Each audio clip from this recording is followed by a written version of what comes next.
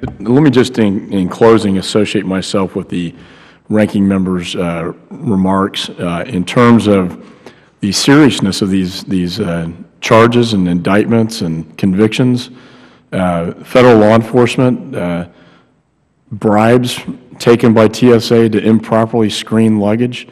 Now, first of all, stealing personal belongings uh, as people go through these screeners all the time and scanners, and yet the idea that TSA uh, officials are stealing personal property. But beyond that is the national security implications.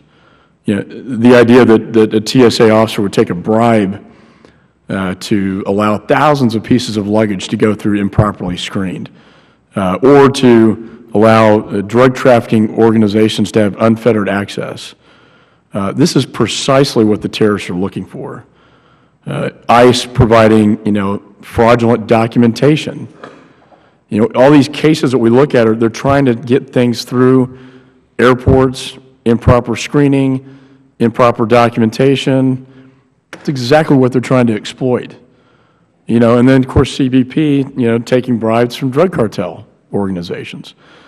Um, and given the seriousness uh, of this, I, I, do first want to say thank you to CBP for uh, Mr. Winkowski for you showing up at the policy level, but I, I do want to express my extreme disappointment uh, that TSA and ICE, given these allegations, and not just allegations but proven fact, uh, did not bring forth the policy level witnesses that we requested. So it sends a signal to the Congress that either they're, they're not taking it very seriously uh, or these officials are just trying to hide from the American people.